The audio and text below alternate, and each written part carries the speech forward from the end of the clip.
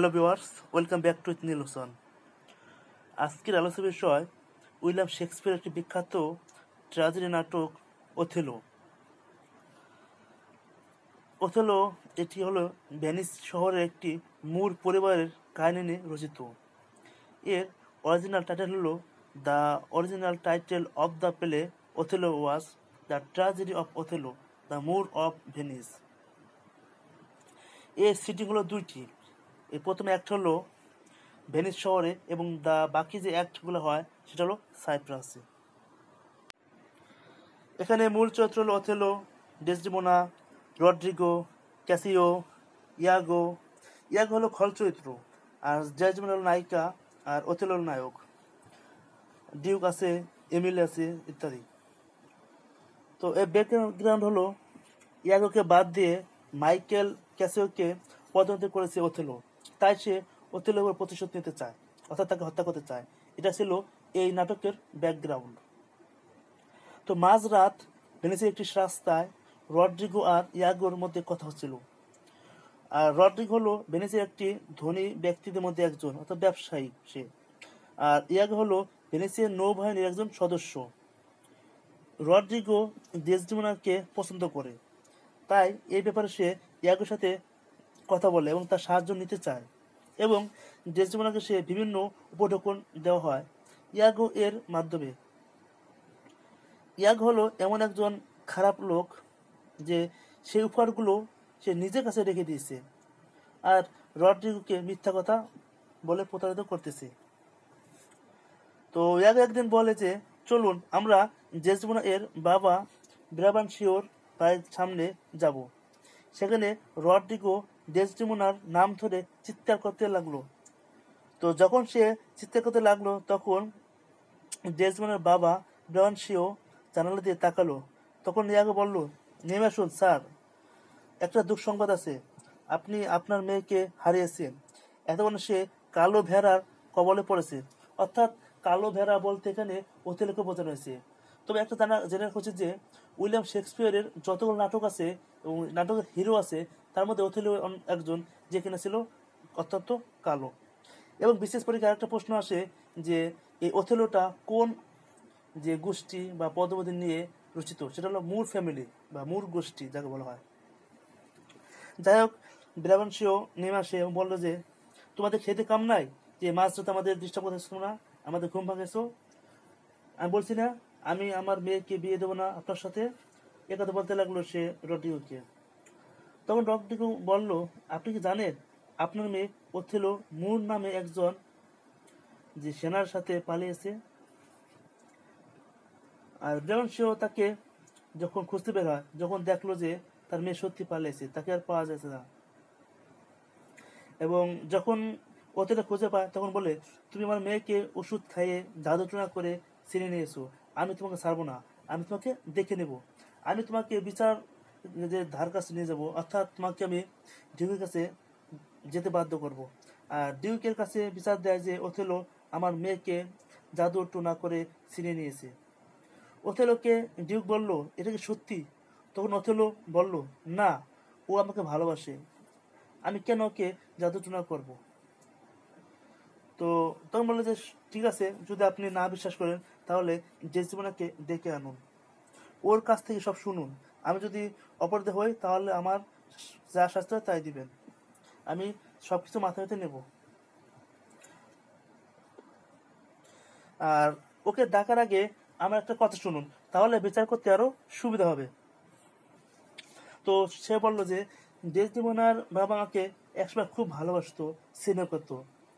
আমি আমার জীবনের সব আনন্দ, দুঃখ, বেদনার সব গল্প তার কাছে করতাম।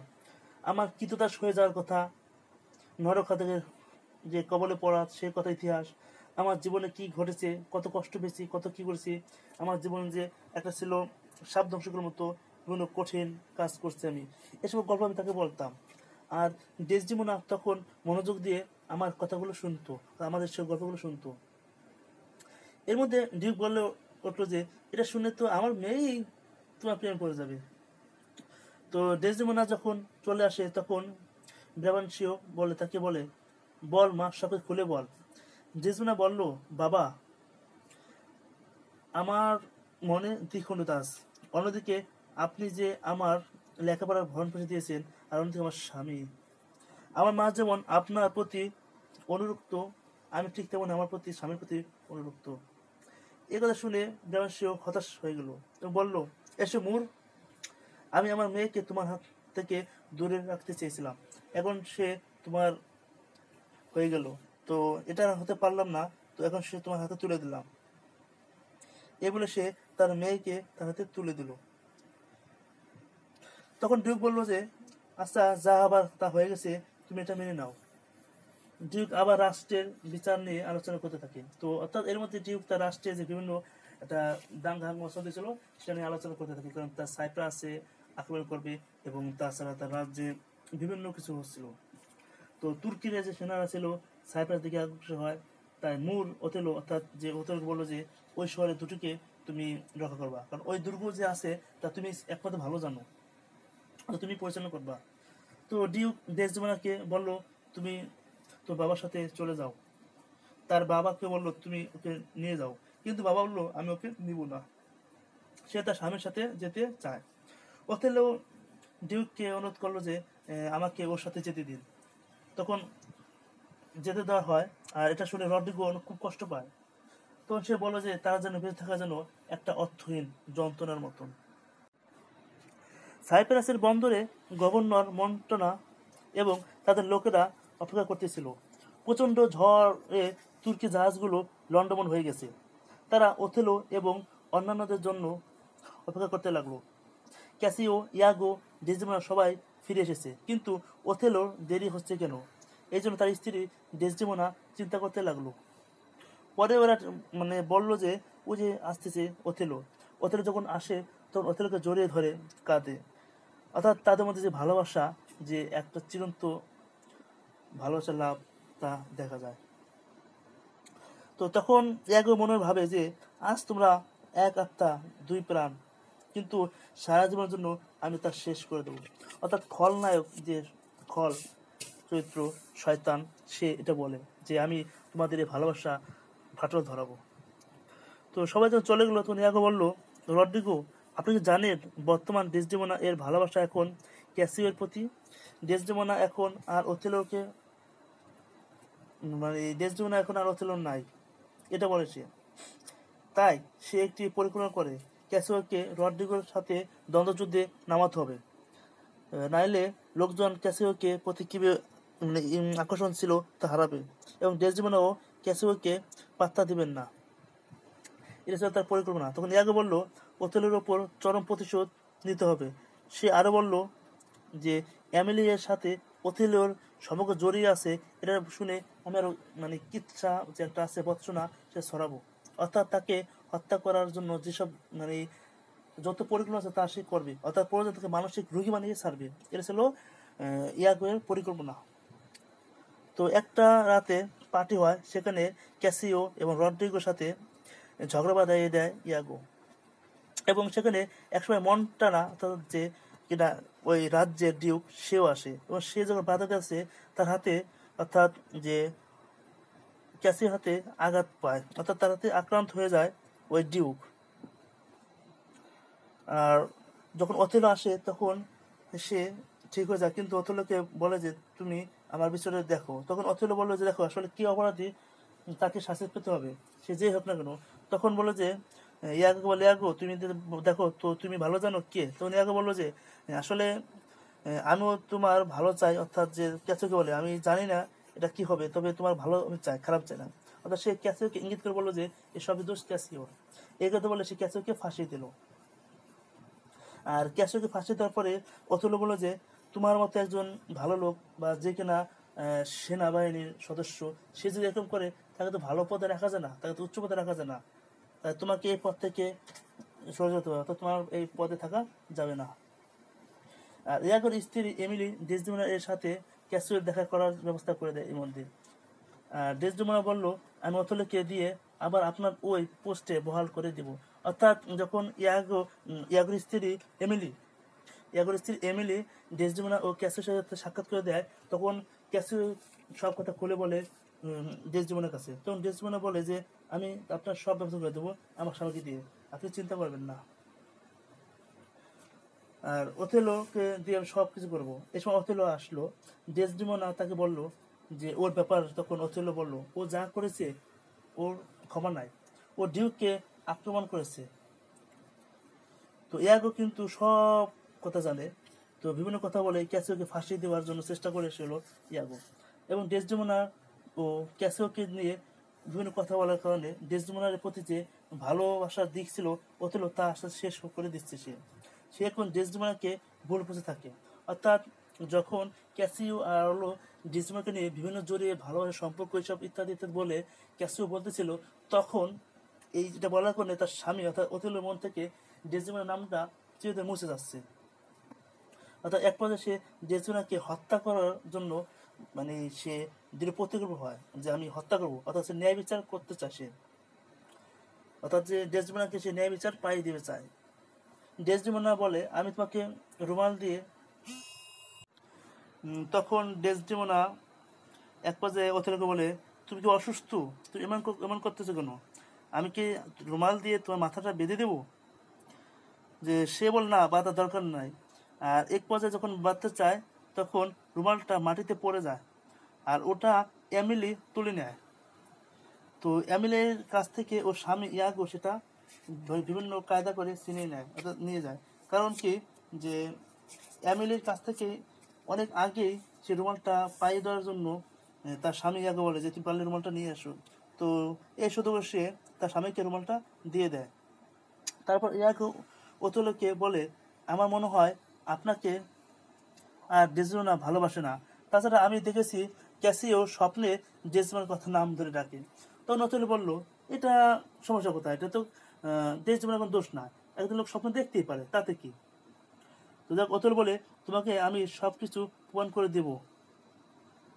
অতলোকে বলে যে, আপনি যদি সব কিছু প্রমাণ করতে চান, তাহলে আমি সব দিব। কারণ কি? ক্যাথো, যে ডেজমোনা আপনাকে কোনো ভাষা ভালোবাসে না, সে ভালোবাসে ক্যাসিওকে। তো ইয়াগার বলল যে, কালকে দেখলাম যে ক্যাসিও, যে আপনার দেওয়া সে রুমাল দিয়ে দাঁড়ে মুছছিল। যদি সেটা আপনার হয়, এটা শুনে অথেলো চিৎকার করে ওঠে। ঠিক আছে? এবং চিৎকার করে যেন সে প্রচণ্ড ক্ষিপ্ত হয়ে যায়। তো আজ থেকে আমি আমার ভালোবাসা আকাশের দিকে ছড়িয়ে দিয়ে দিলাম। সে বলে ওঠে যে, আমি আমার ভালোবাসা আজ আকাশের দিকে ছড়িয়ে দিলাম। আমি চাই প্রতিশোধ, আমি চাই রক্ত, আমি চাই প্রতিশোধ। পরে ওথেলো বলে, আমার সে রুমালটা কোথায়? তার থেকে বলে, ওই রুমাল আমার মা মিশরীয় লোক থেকে নিয়ে এসেছিল। যতদিন ওই রুমাল কাছে থাকে, ততদিন ভালোবাসা থাকে। অর্থাৎ আমার ভালোবাসা তোমার ততদিন পাবা তুমি যতদিন রুমাল তোমাকে থাকবে। এটা ছিল সেই রুমাল যা আমি তোমাকে দিয়েছি। আমার সেই রুমাল কোথায়? তো ডেজমান বলে যে, আছে রুমালটা, আমি তোমাকে খুঁজে দেবো। খোঁজা খোঁজা করে কিন্তু রুমালটা পায় না। তো এর মধ্যে ক্যাসিও রড্রিগো এর মধ্যে মারামারি লেগে যায়। কারণ ইয়াগো নামে যে শয়তান কালপ্রিট ছিল, সে দুজন- দুজনের মধ্যে মারামারি বাঁধিয়ে দেয়। আর এর এক পর্যায়ে ইয়াগো রড্রিগোকে হত্যা করে ফেলে এবং সে অনেকের, অনেক মানে সে প্রতিশোধ নেয়। অর্থাৎ রড্রিগো যদি না থাকে তাহলে তার যে অলঙ্কারগুলো ছিল, যেসব অলঙ্কার ডেসডিমোনাকে দেওয়ার কথা ছিল, সেগুলো তাকে ফেরত দিতে হবে না। এই জন্য সে ভাবে যে, যদি ইয়াগো ভাবে যে রড্রিগো মারা গেলে আমার ওই অলঙ্কার ফেরত দিতে হবে না, আমার পথ ক্লিয়ার অলঙ্কার নিতে পারব আবার যদি ক্যাসিও মারা যায়, তাহলে ওই পথ থেকে সে সরে আর তার যে প্রমোশনের পথ সেটাও ক্লিয়ার হবে। সে সেভাবে তো ডেসডিমোনা তার বিছানায় ঘুমিয়ে থাকে এমন সময় ওথেলো তার হাতে জ্বলন্ত মোমবাতি নিয়ে প্রবেশ করে। সে এখন ক্রুদ্ধ নন, প্রতিশোধে উন্নত নন, সে শুধু অন্যায়ের প্রতিশোধ নিতে চায়। অর্থাৎ সে বলে যে, আমি রাগান্বিত না, আমি কিছু না বাট আমি শুধু অন্যায়ের প্রতিশোধ নেব এখন আমি। তো সে ডেসডিমোনাকে হত্যার পেছনে অনেক কারণ তো রয়েছে সে তার শরীর থেকে রক্ত ঝরাবে না। তার মসৃণ ও বরফের মতো শুভ্র চামড়া কোনো দাগ দিবেন না। তবে তাকে মরতে হবে। অর্থাৎ ওথেলো বলে যে, তাকে মরতে হবে। তার মসৃণ যে চেহারা ফেস বরফের মতো, শুভ্র মতো, সেখানে আমি কোনো চামড়ার দাগ দিব না। আমি তার শরীর থেকে কোনো রক্ত ঝরাবো না, কিন্তু তাকে মরতে হবে। না হলে অনেক পুরুষকে সে প্রতারিত করবে। গোলাপের ঘ্রাণ বসে ডেজমাকে সে চুম্বন করে বলে, আমি তোমাকে হত্যা করব, তারপর তোমাকে ভালোবাসবো। আর একবার সে চুম্বন করতে দাও আমায়। অর্থাৎ সে বলে কি? যে চুম্বন করে বলে, আমি তোমাকে হত্যা করব, তারপর তোমাকে ভালোবাসবো। আর একবার শেষ চুম্বন করতে দাও আমায়। তারপর আমি কাঁদবো। আমার এই দুঃখের সাথে কল্যাণ রয়েছে, তুমি জানো। তো ইতিমধ্যে সে জেগে ওঠে যে, তুমি কি করতেছো? অথেলো সে বলছে, না, আমি আজ অন্যায় প্রতিশোধ দেবো আত্মাকে তোমাকে ন্যায় বিচার পাই দেবো। সে ডেজমাকে হত্যা করে ফেলে। পরে এমিলি তাকে সব কিছু করে বলে, তখন সে দুঃখে অথেলো নিজেকে শেষ করে ফেলে। যে, হায়, আমি কি করলাম?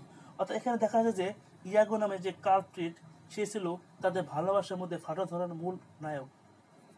সে ডেসডিমোনা আর অথেলের মধ্যে যে এমন এক ষড়যন্ত্র তৈরি করে, যার শেষ পর্যায়ে ছিল করুণ মৃত্যু দুজনের। অর্থাৎ ওতেলের হাতে মৃত্যু হয়, তার স্ত্রী ডেসডিমোনা। এবং শেষে এই সম্পূর্ণ জাল, সম্পূর্ণ কূটনৈতিকতা সম্পূর্ণ কিছুর প্রকাশ করে যে ইয়াগোর স্ত্রী এমিলি। তো বন্ধুরা, এরকম যদি আরও আপনারা ভিডিও চান, তাহলে অবশ্যই চ্যানেলটিকে সাবস্ক্রাইব করবেন, লাইক করবেন শেয়ার করবেন, উৎসাহ দিবেন।